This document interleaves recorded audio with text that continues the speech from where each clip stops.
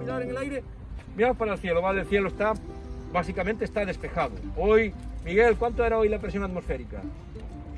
764 me parece, ¿verdad? Es decir, es un poquito más alta de la presión normal a nivel del mar, que es de 760. Y indicaba entre bueno y variable, más bien en bueno, ¿vale? La presión es la presión normal, está ligerísimamente alta, pues quiere decir que el tiempo atmosférico que preveemos es bueno. Sería más o menos anticiclón, vamos, muy poquito anticiclón, porque tendría que estar un poco más alta, ¿vale? Entonces, pues suponemos que el tiempo va a ser bueno, no hay nubes, está despejado y está soleado el tiempo y lo que vemos son, ya si nos fijamos mucho, algunas nubes como aquella de allí, muy tenue, muy alta y alargadas, ¿vale? o estas de aquí que están precediendo otras nubes. Quizá mañana el tiempo vaya a cambiar, pero hoy vemos estas nubes. Mira, esa de ahí es especialmente, ¿la veis? Esas de ahí que están alineadas, pues son cirros, ¿vale? Son nubes muy altas. A veces nos podemos fijar en el cielo y podemos ver nubes a distintas alturas, ¿vale? O otras veces, ya os lo he dicho también, nubes que van desde muy abajo hasta muy arriba, que son nubes que se llaman de desarrollo vertical. Estas no, estas se ven horizontales, altísimas, lejos, yo diría que están casi a 10 kilómetros de altura, no lo sé, pero podrá ir, y son las que se llaman cirros, pelos, ¿vale? Porque es eso que os digo, son como pelos y son nubes que como están tan altas, pues está muy frío ahí el aire, ¿de acuerdo? Antes alguien me decía, ¿cómo va a hacer tanto frío si hace sol? Pues voy a explicar algo que esto es para ya nivel segundo de bachillerato más.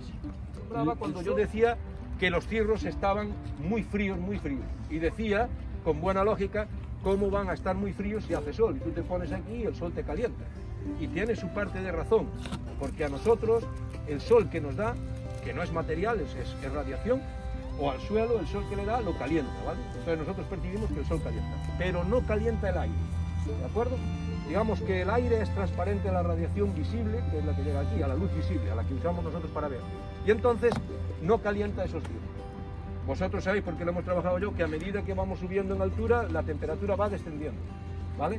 Hasta las capas más altas de la atmósfera, donde cambia. Bueno, va cambiando, pero en la mesosfera más o menos, y al final, sobre todo en, la, en la capa más baja, en la troposfera, la temperatura disminuye con la altura.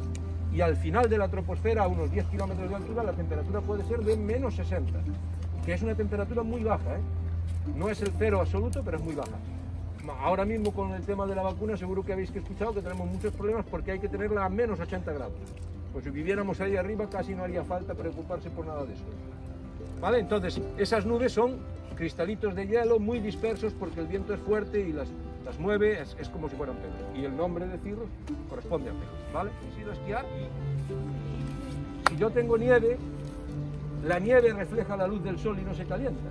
Por eso cuando vas a esquiar tienes que llevar gafas muy oscuras e ir muy protegido de la radiación. Y aún así vas a venir más moreno de esquiar un día que de estar una semana en la playa. ¿Por qué? Porque la nieve que tienes debajo refleja toda la luz y también te da la luz que refleja la nieve. Como la refleja, no la calienta. La nieve no se calienta casi y se aguanta mucho tiempo. ¿Vale?